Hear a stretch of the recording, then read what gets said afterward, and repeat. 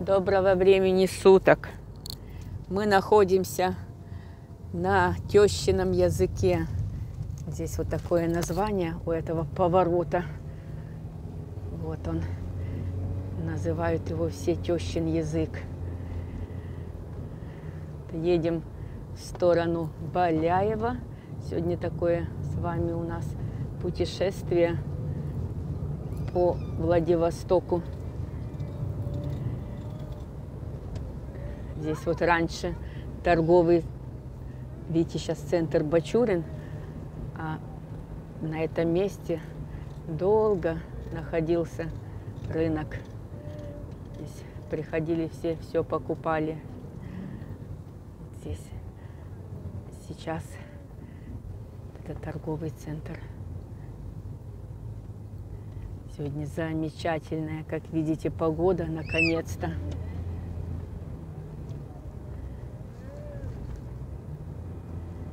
Солнечная, градусов 15 уже.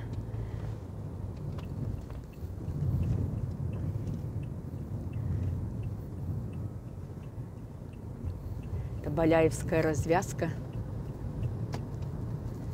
Сейчас немножко попутешествуем, посмотрите.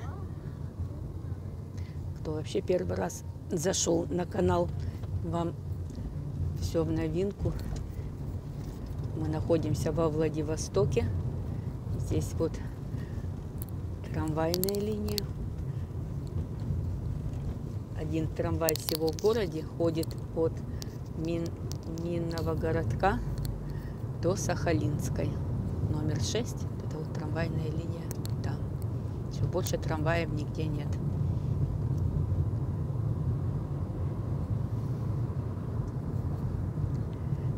Площади Луговой с вами едем. Минный городок здесь напротив. Хорошо, пробки нет. Сейчас много электросамокатов в разных точках города стоят. Можно также передвигаться электросамокате. Кто умеет.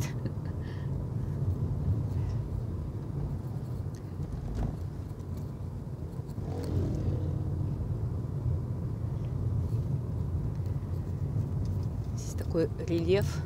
То вверх, то вниз. В общем, вот как раз трамвай. Смотрите, вот он у нас идет.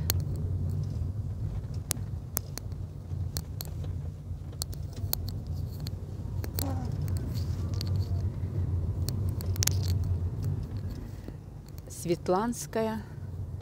Прямо, если вправо ехать, то там уже выезд в центр.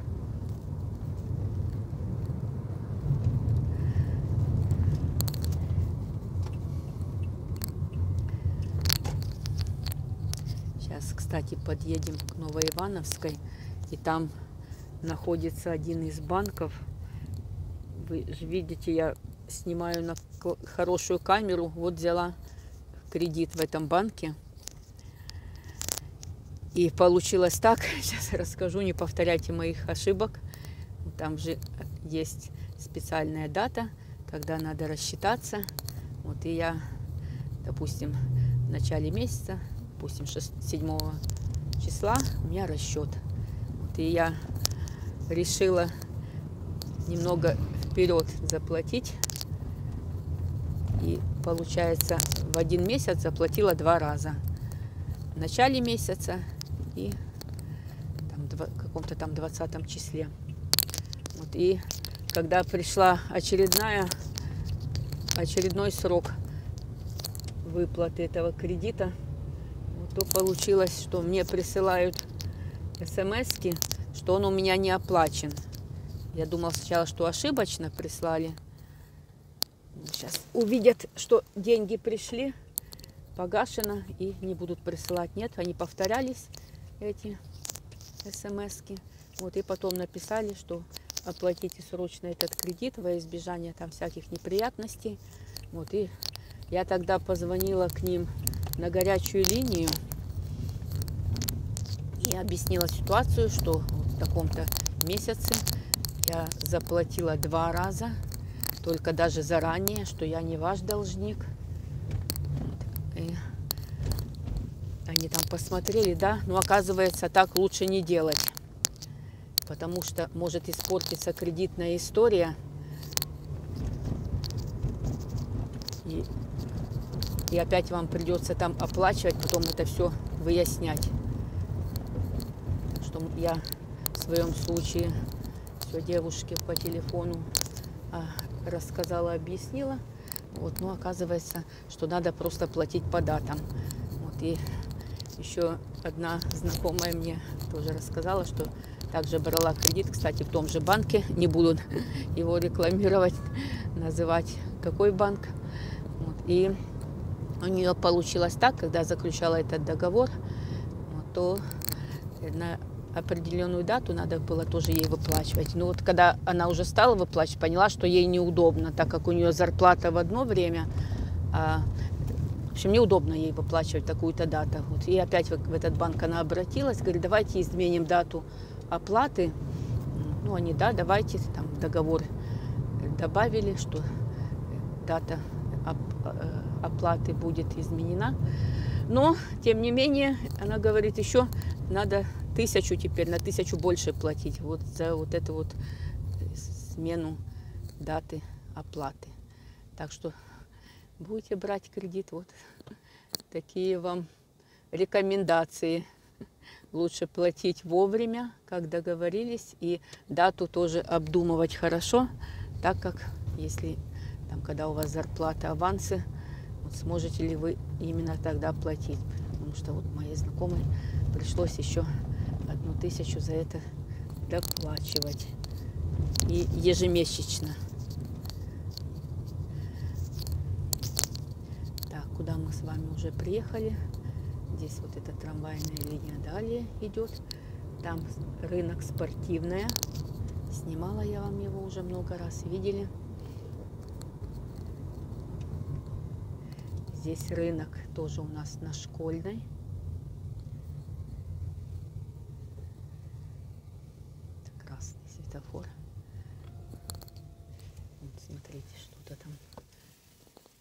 Разрыли.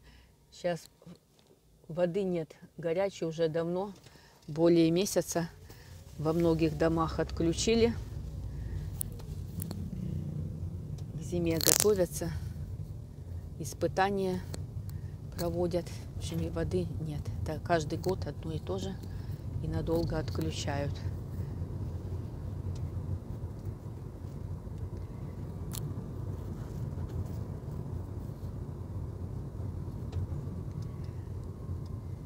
Это дорога в сторону Тихой.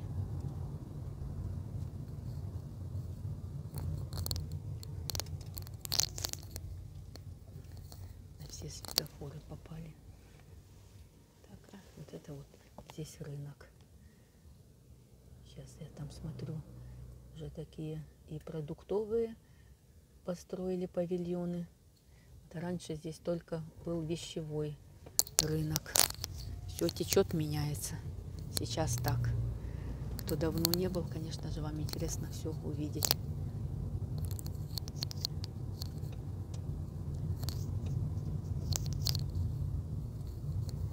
Фадеева, Ручейная. Еще есть такая улица.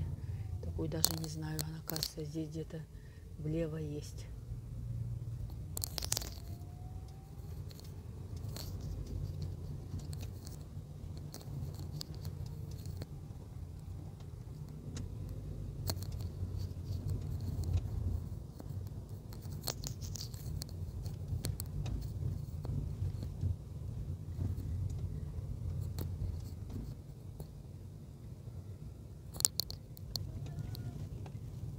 Борисенко 19.